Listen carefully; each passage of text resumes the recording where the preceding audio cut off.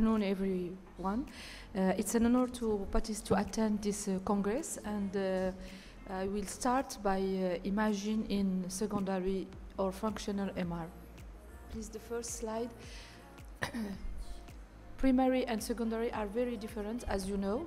Primary is a disease of uh, mitral apparatus, while secondary MR is uh, a disease of left ventricle, and we'll see the imaging, uh, the role of imaging.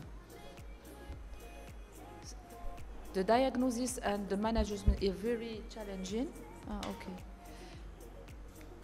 The diagnosis is very challenging, and uh, it needs uh, a structured approach. And imagine uh, is the cornerstone of this approach. As you know, it's the most common valvular disease. We can see it in dilated cardiomyopathy, ischemic cardiomyopathy, and rarely in atrial uh, MR. It has a poor prognosis, even with mild MR, and uh, it's an important cause for cardiovascular morbidity and mortality. So we have to do an early diagnosis, a careful monitoring, and timing intervention. I have no disclosure. And when we do uh, an echocardiography, we have to answer to three or four questions. The first one is the mechanism and etiology of MR. Then we have to quantify the MR, and we, uh, we uh, have to study the feasibility of edge-to-edge repair. So for the first question, the etiology and morphology of uh, MR. Uh, as you know, Carpentier came up with a classification based on leaflet motion, and for dilated cardiomyopathy and atrial MR, it fits in type 1.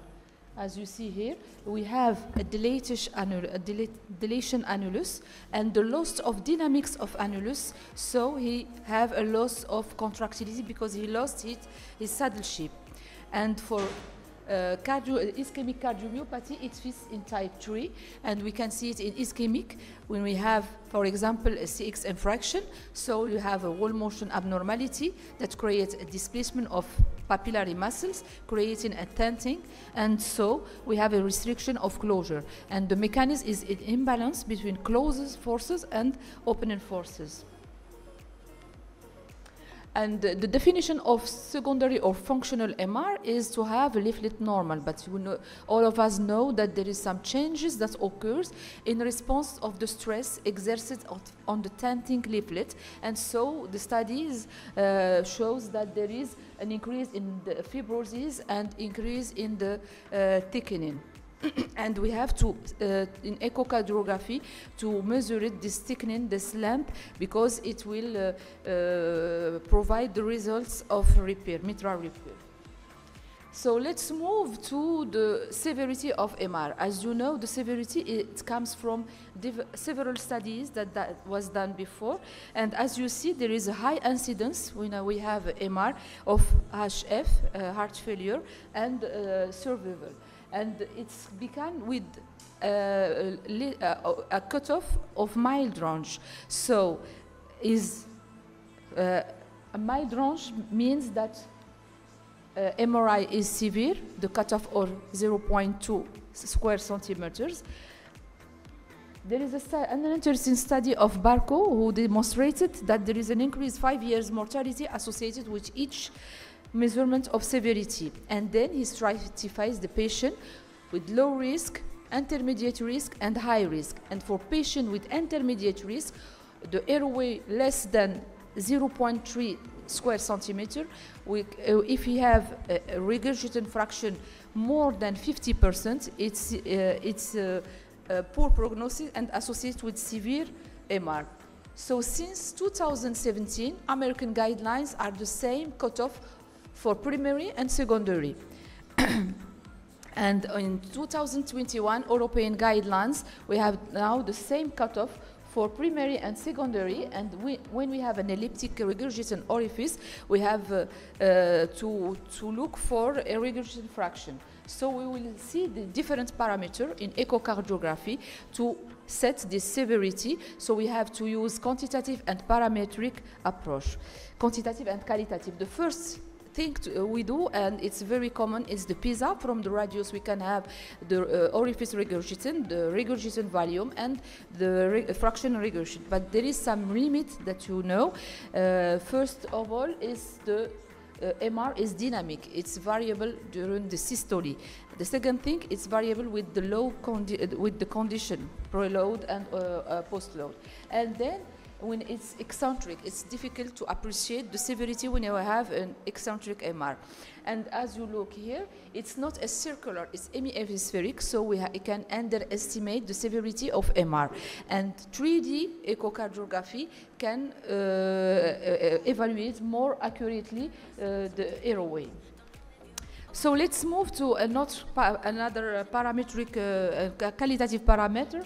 It's the vena contracta, it's the narrowest uh, uh, jet, and we can measure the width. When it's less than 3, it's a, a mild MR. And the new recommendation, in, uh, the new guidelines recommend to make the measurement in bi- biplane in two two chamber and three chamber and when it is more than 8 millimeter it's a severe MR and also the the limits is shown here.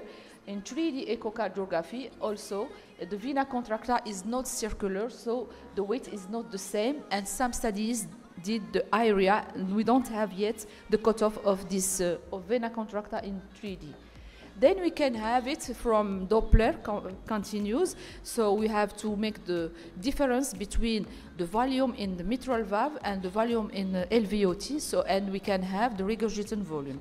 So there is many parameter and there is also some su- supportive side like uh, an increased E wave, uh, a systolic reverse of flu pulmonar. We don't uh, uh, rel- rely on jet area, uh, the ratio of mitral VTI and LVOT, and sometimes we can do exercise tests if there is discordance between symptoms, severity of MR, and uh, uh, and LV function.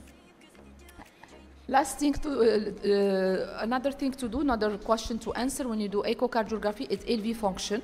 We do it by uh, Simpson biplane, but it's also interesting to do it by 3D and also by uh, cardiac MRI because it's the gold standard for evaluating of volume and ejection fraction.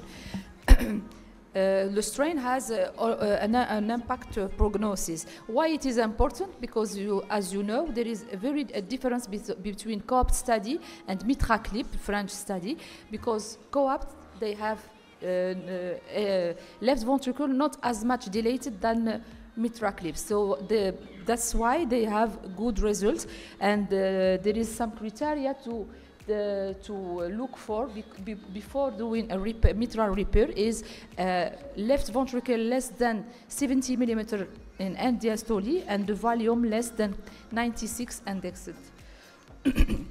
and then we have to look if we can do uh, uh, clip and this and the transesophageal echocardiography with uh, 3D is very interesting. Uh, we can see the mechanism, we can see the indentation, if there is a calcification, and the, the more important thing is was the, the criteria of Everest. Uh, we have to look for the, the depth coaptation, the length of the coapta- coapt- co- coaptation, and uh, here we have in this uh, uh, summarize uh, the criteria of mitral repair. It was uh, uh, published last year by EACVI and EAC. So when we have uh, mitral regurgitation, the first step is to do echocardiography. If we can answer about the severity, the LV function, it's enough. If not, we have to do transesophageal echocardiography coupled with 3D. If we, it's also un, uh, inconclusive of its uh, intolerated by, by the patient, now we have to move to cardiac MRI because we can evaluate the regurgitation volume with, the, with uh, contrast de phase. So in conclusion, quantifiant se- um, uh, secondary or functional MR is more difficult than primary MR. Echocardiography is the cornerstone for this evaluation. We can study the structure, the severity, LV function, the feasibility of mitral repair, and 3D and CMR have a good potential and Perhaps in the future we will use uh, a new parameter and we have to insist in the selection of the good patient upon the LV and the anatomy of the mitral valve. Thank you for your attention.